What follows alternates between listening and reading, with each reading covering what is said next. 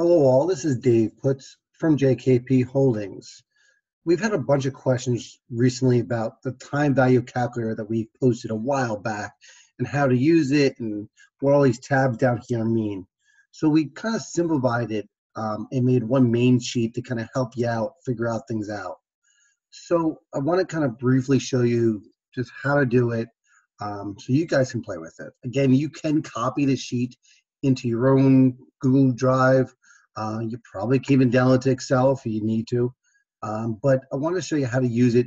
Uh, again, as long as nobody else is on at the time, you can use it and then just delete the information as you need to. So just some quick things. Um, this just up here says it needs. Um, and here's your results. Uh, the areas you can edit are these check boxes and these values here.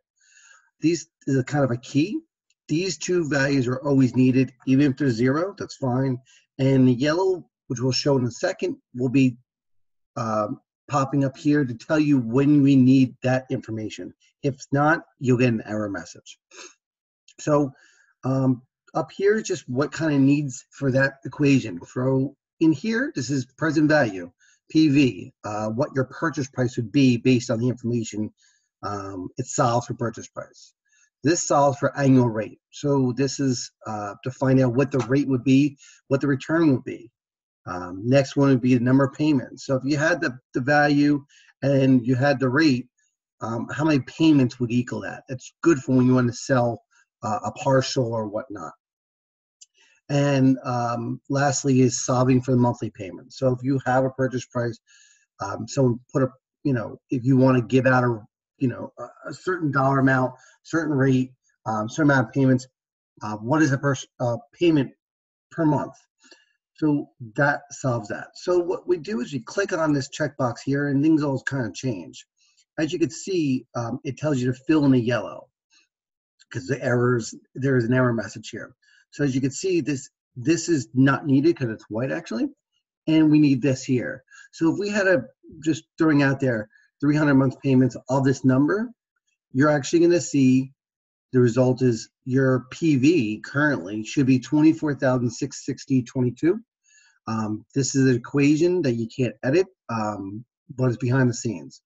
Your net annual rate, meaning what you receive in your pocket, including monthly servicing fees, comes here. And in your profit um, would be $23,000. So just change it over. So with this all said here, what you're trying to do is here is you're filling in these um, yellows. Um, the whites obviously don't really matter um, because once you click on this, it doesn't use this cell. Um, greens have to be always filled in, even if they're zeros. Um, the yellows just tell you when we need it. Um, the month remaining, you could cheat and use this number over here if you'd like to, um, by putting the next due date, which is the next contractual date the borrower is due, when the next payment is technically due, not last payment received, and the maturity date. So this just figures out what the uh, if formula. So uh, just quick and dirty, feel free. I will post the link to this uh, Google Sheet that we have and uh, allow you guys to use it. Any questions, let us know. Thanks.